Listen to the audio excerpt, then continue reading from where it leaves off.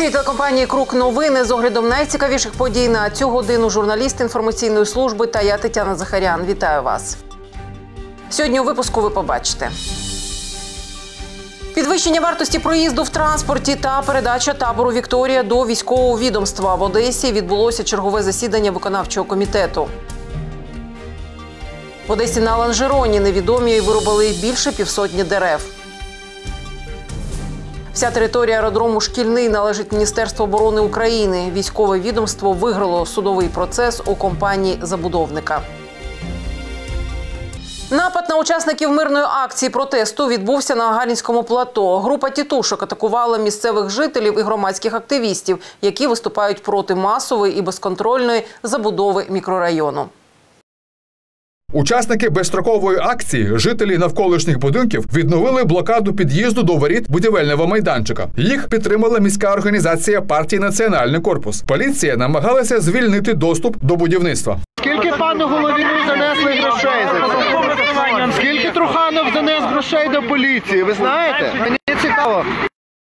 Хтось з поліції дали хоч частину грошей, які занесли до Головіна за це будівництво? Такой же вопрос, вы по дельфинариям уже не стоите. Да скоро мы там увидимся. Что вы начали? А є факт. Да мы будем.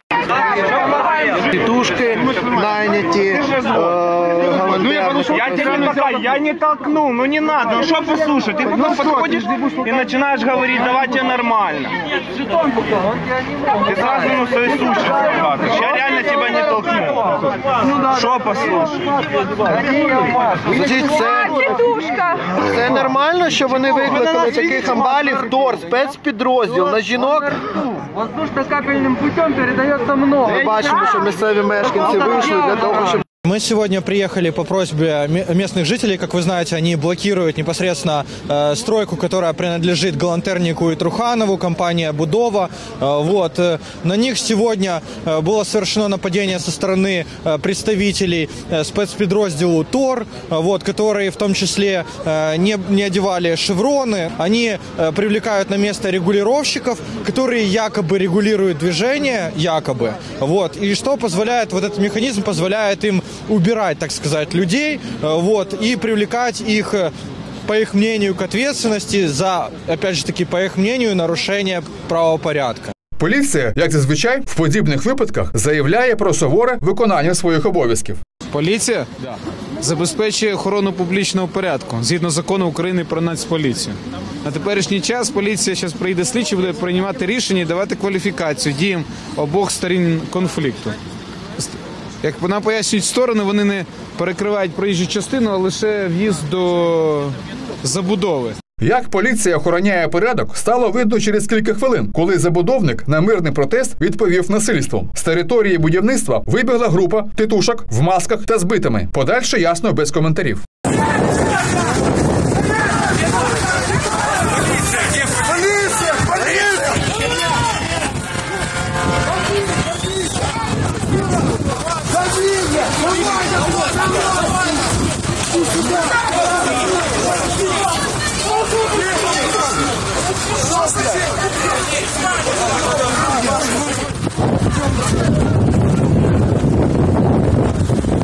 На цих кадрах чітко видно, як після нападу титушки ховаються за забором будівництва. Представники національного корпусу прорвалися на територію, і тільки після цього поліція затримала частину правопорушників. Сейчас мы находимся, часть наших ребят находится в э, Приморском отделении полиции, потому что а, мы понимаем, что а, это тетушки относятся к галантернику, вот, и, соответственно, галантерник вряд ли захочет их так просто отдавать. Поэтому мы пытаемся проконтролировать, чтобы э, люди понесли ответственность за э, то, что они сделали. Акція протесту жителів Гагарінського плато на цьому, звичайно ж, не закінчиться. Питання в тому, якою буде позиції влади і правоохоронної системи. Олександр Виноградов, Денис Світлаченко, телекомпанія Круг. В Одесі на схилі біля пляжу Ланжерон було знищено понад 50 дерев. Винних у вирубці дерев до сих пір не можуть знайти. Під покровом ночі, 27 листопада, на пляжі Ланжерон біля ресторану Хуторок біля моря зрубали 51 дерево. Про це повідомляє на своїй сторінці Фейсбук очевидець Галина Авір'янова. Цитуємо: бідолашний лисий ланжерон. Його шматують і шматують. Вікові дерева зрублені біля ресторану Хуторок біля моря. Злочин скоїли вночі позавчора, з понеділка на вівторок. Нещасні дерева, абсолютно здорові. Це видно на зрубі. Працівники ресторану Хуторок дзвонили в поліцію. Ніхто не приїхав. Потім вранці зверталися до екологічної інспекції та Зелентрес. Та ж пісня. Є інформація про номери машини, на якій приїхали і поїхали 20 осіб, які пиляли дерева. Кінець цитати. Це питання було піднято під час засідання депутатської комісії з питань житлово-комунального господарства 28 листопада. Директор департаменту екології Віталій Денисов підтвердив, що дійсно невідомі особи вночі вирубали на ланжероні 51 дерево діаметром близько 15 сантиметрів. Комісія зафіксувала факт знищення дерев. Відповідну заяву подано в прокуратуру. Однак винних так і не знайшли. А сьогодні, як повідомляє Галина Авір'янова, територія зачищена між двома і трьома годинами ночі. Відзначимо, знову все відбувається вночі. Кілька камазів вивозили пні і спиляні стовбури, викорчовували навіть коріння. Відбулося чергове засідання виконавчого комітету Одеської міськради. Підвищення вартості проїзду в громадському електротранспорті вже з 1 грудня. Передача військовим дитячого табору Вікторія, а також можлива поява дитячих садків в нових висотках. Детальніше в сюжеті наших кореспондентів. Сувора перевірка муніципалів при вході та 20-хвилинне запізнення Геннадія Труханова. З цього почалося чергове засідання виконавчого комітету. Далі, в принципі, все за традицією. Порядок денний, проекти з голосу та одностайне схвалення. Почнемо, мабуть, з приємного. Одеса, яка включена в минулому році в європейську програму культурних міст, стане першим українським культурним містом мільйонником, куди приїдуть координатори цього європейського проекту. Для всіх, хто не зрозумів, Геннадій Труханов особисто роз'яснив, в чому власне полягає радість. Достаточно такое широкое мероприятие, где собрал Совет Европы, где города обменивались своим опытом в разделе интер, интеркультурных городов. Широкий, а можливо навіть глибокий та місцями високий захід очікує нас з вами вже в наступному році. Зате ще одна подія теж певним чином широка, оскільки зачіпає широкий пласт населення, трапиться з нами вже 1 грудня. В Одесі піднімуть вартість проїзду в громадському електротранспорті до 5 гривень. Ми проаналізували досвід е, інших міст. Першу чергу Східної Європи, Західної Європи. Якщо подивитися на цю, на цей слайд, то видно, що в Одесі одна із найнижчих е, вартості поїздки. Але якщо ми часто кажемо, що ми бажаємо е, отримувати якісну послугу е, на транспорті, якість якого повинна відповідати європейській якісті, то ми повинні розуміти, що вартість поїздки буде достатньо значною. Ну в цьому економічному обґрунтуванні, яке прозвучало з вуст головного економічного обґрунтовника міста Сергія Тетюхіна, чарівно все. Тобто вони, чиновники, проаналізували роботу громадського транспорту в містах східної та західної Європи і прийшли до висновку, що в порівнянні з ними в Одесі навіть за 5 гривень вартість проїзду значно нижче ніж в Європі. Панове до цієї думки, в принципі, цілком можна прийти навіть не катаючись по містах Європи. А якщо ще при цьому наше міське керівництво поїздило в нашому громадському транспорті, особливо це стосується трамваїв, вони б зрозуміли, що як в Європі високою повинна бути в першу чергу не ціна, а якість послуги. Але як завжди, громадянам пропонують увійти в становище зношеного, вірніше заїждженого міськ електротранса, у якого немає грошей на нормальні вагони. В основе принятия решения лежала очень главная составляющая, основная, о том, чтобы это не коснулось жителей Одессы, особенно незащищенных слоев населения или тех, кто нуждается.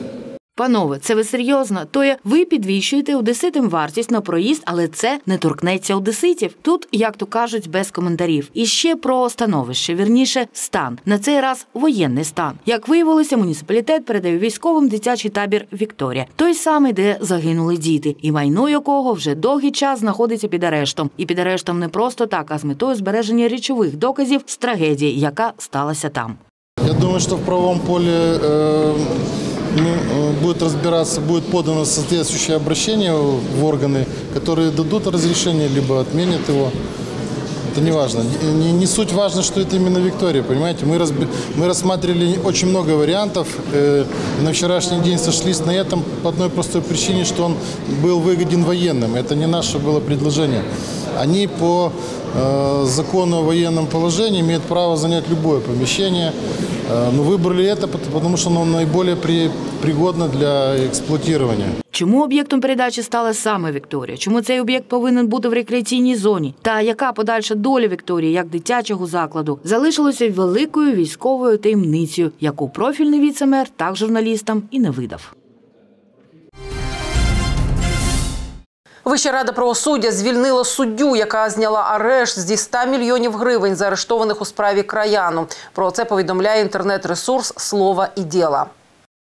Як повідомляє портал Слово і діло, Вища рада правосуддя звільнила із займаної посади суддю Солом'янського районного суду Києва Людмилу Кізюн за скоєння ряду дисциплінарних вчинків, в тому числі, як зазначає видання, за зняття арешту майже зі 100 мільйонів гривень грошей Труханова. Цитуємо, йдеться про кошти Development Elite, на які було накладено арешт в рамках кримінального провадження про заволодіння 185 мільйонами гривень Одеської міської ради. Зазначені гроші були переведені Одеською міськрадою фірмі за покупку двох адміністративних будівель з банкрутілого заводу краян для розташування в них мерії. В ході розслідування цієї справи детективами НАБУ було повідомлено про підозру меру Одеси Геннадію Труханову, його заступнику Павлу Вугельману і ще шести особам. Як відомо, суддя Кізюн два рази безпідставно зняла арешт з половини грошей Development Elite. Через це НАБУ та САП подали на неї скаргу. Кінець цитати.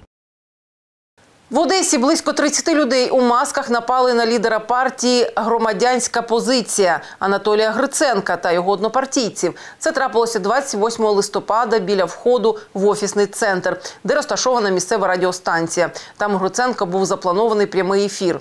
Група нападників спочатку перегородила політику вхід до офісного центру, потім почала битися з його прихильниками. Про це повідомляє прес-служба політичної партії Громадянська позиція. Інцидент стався перед входом в офісний центр Термінал 42, де знаходиться радіостанція. У Анатолія Гриценка був запланований прямий ефір. Група людей спортивної зовнішності спочатку перегородила Гриценко вхід. Невідомі закидали яйцями лідера політичної партії, а потім напали на прихильників політика, які його супроводжували. Як повідомляє прес-центр, постраждали три члена політсили. У двох підозра на струс мозку, у третього розсічення на обличчі. Сам Гриценко не постраждав. Повідомляють в прес-службі політика. Конфлікт зупинили поліцейські, які патрулювали вулицю. Тим часом в прес-службі політика повідомили, що вже встановлені організатор і більшість виконавців нападу в Одесі на Анатолія Гриценка. Розпочато кримінальне провадження за частиною 4 статті 296 хуліганство Кримінального кодексу України. Поліцейські опитують свідків і очевидців події, а також вживають заходів щодо встановлення всіх учасників. Про це повідомляє прес-служба відомства. Аеродром шкільний залишається цілісною і неподільною територією Міністерства оборони України. Господарський суд визнав право військового відомства на використання земельної ділянки для забезпечення безпеки країни. З позовом до господарського суду звернулася військова авіаційна частина та квартирно-експлуатаційний відділ Міністерства оборони. Восені минулого року компанія «Югтранстермінал» без узгодження з міністерством оборони знесла і вивезла паркан біля авіаційної військової частини, щоб зайняти частину ділянки. Аеродром шкільний найбільша база військової авіації, що залишилася на півдні України, яку використовують Міністерство оборони і Державна прикордонна служба. Функція нашого аеродрому школьного це один із е, діючих безпосередньо аеродромів на південно-західному напрямку, який саме прикриває цей важливий е, напрямок е, нашої держави.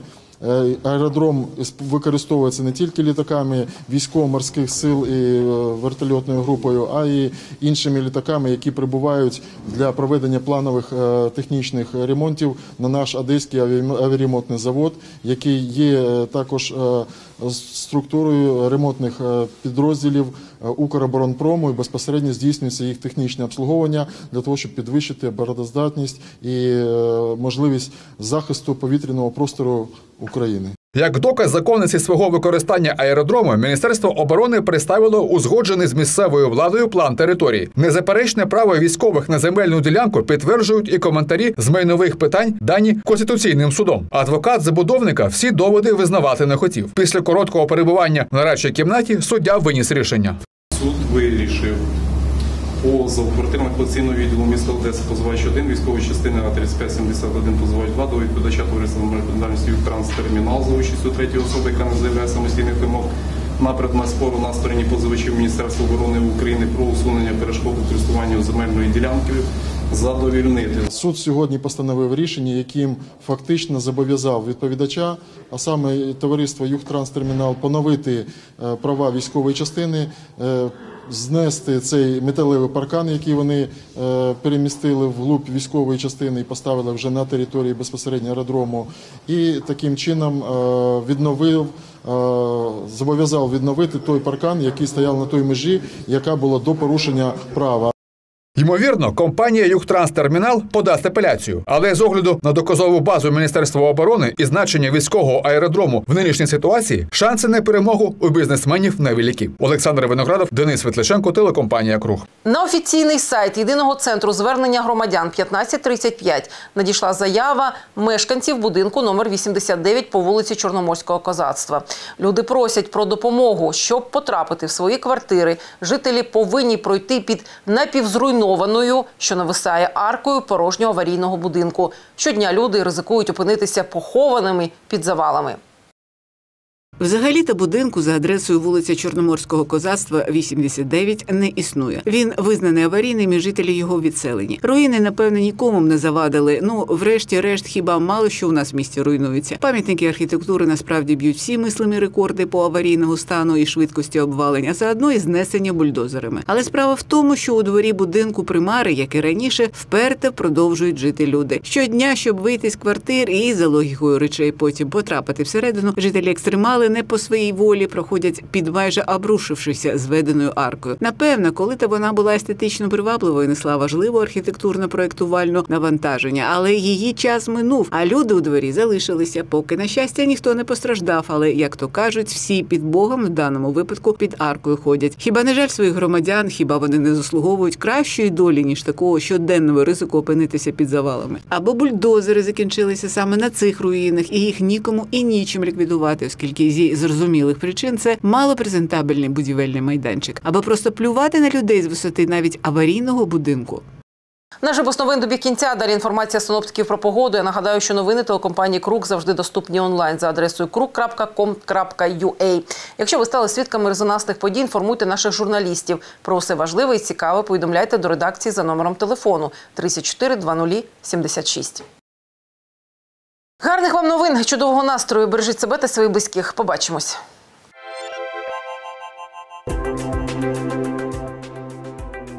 За прогнозом гідрометцентру Чорного та Азовського морів, 30 листопада в Одесі хмарно, в день невеликий сніг, вітер північно-східний, 9-14 метрів на секунду. Температура вночі 5-7 морозу, в день 1-3 з позначкою мінус.